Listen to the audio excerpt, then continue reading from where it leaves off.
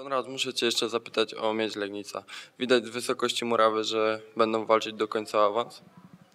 Widać, to jest bardzo dobry zespół, szczególnie mają bardzo silną kadę, wzmocnili się kilkoma zawodnikami o, o dużym potencjale, więc, więc tak jak oni od razu mówili, że będą walczyć o awans, są skupieni na tym celu, bardzo dobrze grają w piłkę nożną, mają ku temu zawodników, więc myślę, że do samego końca będą walczyć o awans. W zeszłej rundzie wygraliście w Grudziądzu, ostatnio w Siedlcach. Chyba można śmiało powiedzieć, że to fatum gdzieś tych spotkań wyjazdowych zostało powoli przełamane. Tak, wydaje mi się, że te fatum było, znaczy jest już za nami, tak, no bo teraz y, z ostatnich dwóch wyjazdów przyjęliśmy komplet punktów.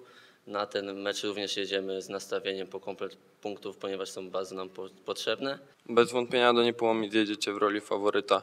Yy, Liga pokazała już na pewno nie raz, że tutaj każdy może wygrać z każdym. Jedziecie pewni swego? Tak, jedziemy pewni swego, aczkolwiek ta liga jest bardzo wyrównana. W Niepołomicach jest ciężki teren, bardzo ciężkie boisko, więc mi się wydaje, że tam mecz będzie walki, szczególnie musimy wygrać ten mecz poprzez walkę, nastawienie mentalne, ale jestem pewny, że po, po porażce z Legnicą wyciągniemy wnioski i, i nastawimy się na trzy punkty. Czołówka powoli odjeżdża i trzeba sobie jasno powiedzieć, że teraz każdy mecz jest o życie. Yy, Spoglądacie gdzieś w tabelę?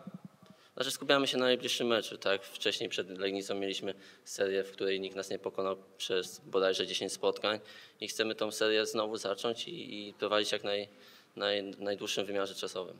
W meczu zabraknie Szymona Lewickiego z powodu żółtych kartek.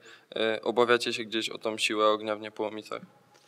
Znaczy no Szymona zabraknie, no wiadomo, on strzelał nam bramki, dawał dużo punktów, aczkolwiek mamy y, wyrównaną kadę, jest na pozycji numer 9 dwóch zawodników, Sanogo i, i Alex, więc, więc nie, nie obawiamy się tej absencji, ponieważ mamy silną kadę. Gdyby spotkania kończyły się po pierwszej połowie, nasz najbliższy rywal byłby na czwartej pozycji. E, Macie już rozpracowany zespół z Niepołomic? Wiecie, kiedy możemy ich zaatakować? Tak, rozpracowujemy każdy zespół na bieżąco przed, przed spotkaniem, więc mamy ustalony jakiś plan taktyczny na ten zespół i spróbujemy go wykonać w 100%. Czego wam życzyć na sobotę? Trzech punktów przede wszystkim. Jeszcze drużyna pyta, czemu tatuażyk? Dlatego pewnie.